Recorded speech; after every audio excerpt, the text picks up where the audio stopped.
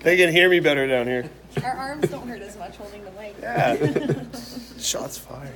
How, uh, how do you feel for a guy like Bax? What he's been having to, to deal with? It's tough. Um, you know, I, I feel bad for him. It's he, he's been such a a great teammate and a great friend, and um, he's had such a great career. So, you know, this is the part of the business that really sucks. Um, you know, when, when you get into numbers games and and um, you get in situations like this, you don't ever want to see a guy get treated, uh, you know, in, in, in this kind of way. It's um, you know, especially a guy that's put his time in and earned his stripes and has been such a great player in this league for a long time. So, um, again, unfortunately, that's the business side of things that is really shitty. And um, but he, he's been an incredible teammate.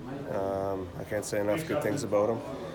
Uh, he's just such a great person, great friend, and um, you know he's gonna be missing this room. We, uh, you know, we relied on him a lot um, on and off the ice, and and uh, he carried a lot of weight with the guys. So we're gonna miss him there, um, no question.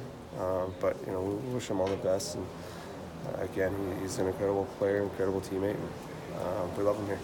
Brad, I know it's, it's it's probably likely something's gonna have to get taken care of after the season, but I mean, what Torey does last night, and just more and more he shows what a leader he is. I mean, how much does that reiterate? You know, you guys want him around for a long, a long time. Yeah, I mean, he's been a great player for our team for a long time now. Um, you know, he does so much for our group. He's good, uh, good two-way D man. He's obviously runs our power play, and um, you know, he's a big reason why we're one of the top power plays in the league. And and then uh, he's tough. He's not scared of anybody. He doesn't back down.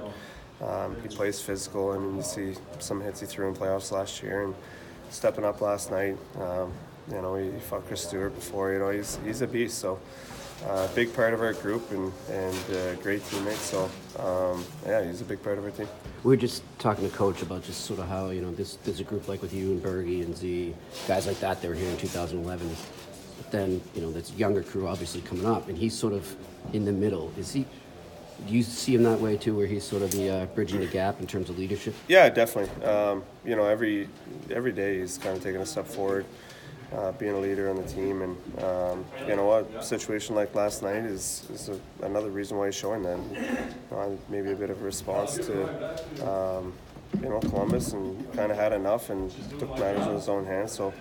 Um, you know, he's uh, again. I think he's learning that role and he's stepping into it more and more. He wants to be a leader for this group, and he has been, and he's going to continue to grow into that role. So it's great to see.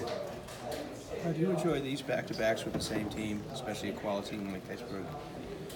It doesn't matter. It's just another game. Um, I didn't even know we we're playing Pittsburgh until yesterday morning. So I mean, that just shows how much we really.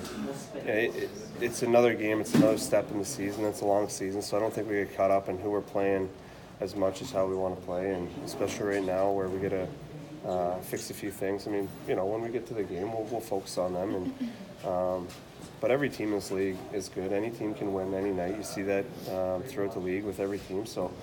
Uh, we know we have to bring our best, best if we want to win, regardless if we're playing Pittsburgh or, or Tampa or Vegas or whatever. So um, it's going to be a big game, and we got to be ready.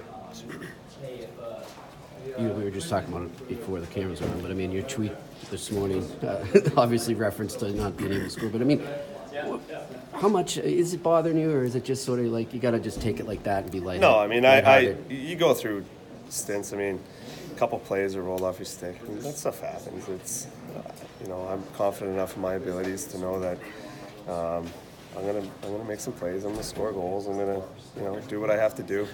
Um, you know, it's just funny that it kind of happened back to back in the same week. You got to be able to laugh at it. It, it. It's funny, you know. Yeah. It, it's unfortunate, but it's funny. We won the game, and and uh, well, I mean, we didn't win the first one, but um, you know, last time we won. So you got to have fun with it. That's that's part of hockey. You're not going to be perfect every night, and uh, uh, again, I mean, I'm not I'm not concerned about it. I'm not worried about it. You got to you got to have fun this time. Clearly, you've been doing other things though. I mean, you've been getting assists, you've been contributing in other ways too. How much, when you do that, I mean, how much does that sort of take off the weight of not scoring?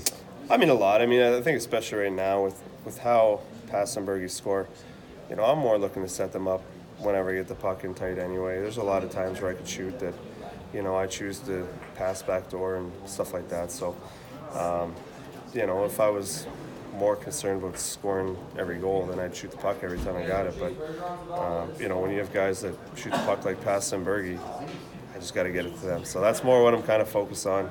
Um, you know, I, I'm not.